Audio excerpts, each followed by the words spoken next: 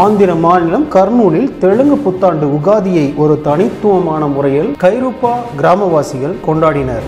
உகாதிக்கு மறுநாள் உகாடி கொண்டாட்டத்தின் ஒரு பகுதியாக கைருப்பா கிராமவாசிகள் இரண்டு குழுக்களாக பிரிந்து மாட்டுச் சாணத்தை ஒருவரின் மீது ஒருவர் வீசினர். இந்த கொண்டாட்டத்திற்கு பின்னால் ஒரு கதை உள்ளது. வீரபத்ர சுவாமி என்ற லிங்காயர் எஸ்சி சமூகத்தைச் சேர்ந்த காளிகா தேவி என்ற பெண்ணை திருமணம் செய்ய விரும்பிய போது இரு சமூகங்களுக்கும் இடையே மோதல் ஏற்பட்டது. அமைதி திரும்புவதற்காக கிராமத் தலைவர்கள் பேச்சுவார்த்தை நடத்தி திருமணத்தை ஏற்பாடு செய்தனர்.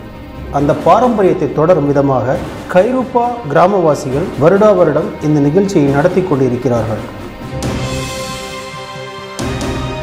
சாண சண்டைக்கு பிறகு கிராமத் தலைவர்கள் ஒன்றாக அமர்ந்து வீரபத்ர சுவாமியின் திருமணத்தை நிகழ்த்துகிறார்கள்.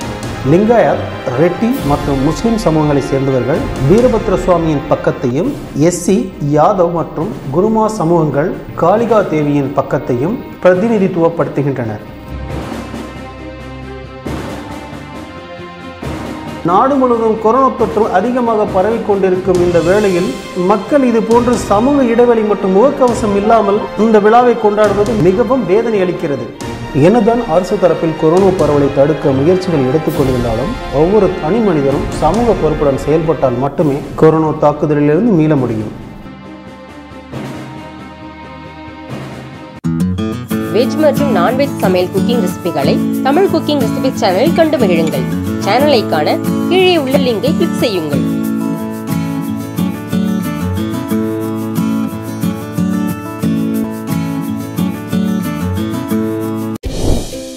தொடர்ந்து இது போல் வீடியோஸ் பார்க்குறதுக்கு கீழே இருக்க சப்ஸ்கிரைப் பட்டனை கிளிக் பண்ணுங்கள்